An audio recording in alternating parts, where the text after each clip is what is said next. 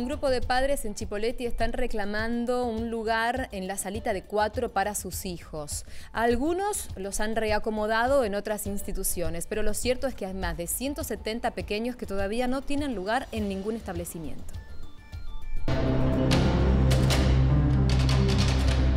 Estamos reclamando lo que ya venimos denunciando ya hace dos años, la falta de vacantes para todos los niños y niñas, principalmente de cuatro años.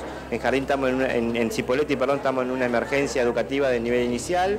El 28 de diciembre acompañamos a muchos de los padres, madres, junto con docentes, con directoras, eh, porque no habían quedado en ningún jardín. Eh, tenemos más de 170 niños y niñas que a fines de diciembre no sabían a qué jardín lo iban a ubicar, porque ya no había vacantes.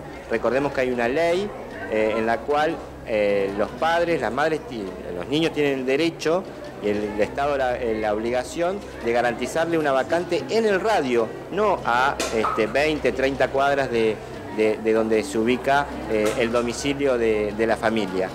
¿Dónde vos lo anotaste en algún jardín a tu hijo? A media cuadra de jardín, o sea, donde yo vivo a media cuadra. Me lo mandaron como a 20 cuadras de mi casa. O sea, el lugar está, pero a 20 cuadras. En una escuela primaria me lo mandaron.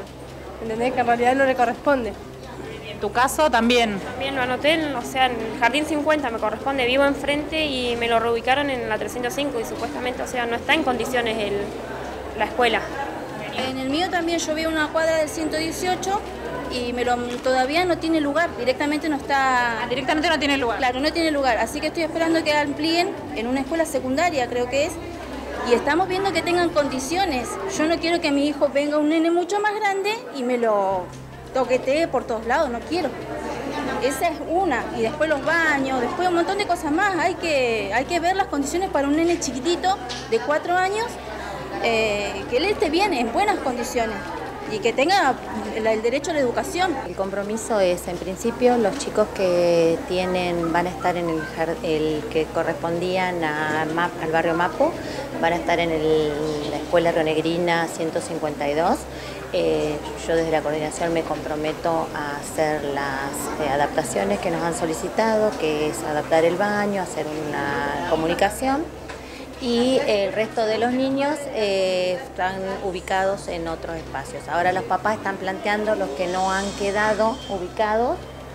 Eh, se están viendo situaciones personales para poder ir resolviendo. Este año lo que surgió, digamos, es que hay en salas de cuatro, sobre todo, eh, hay muchos niños en las tomas.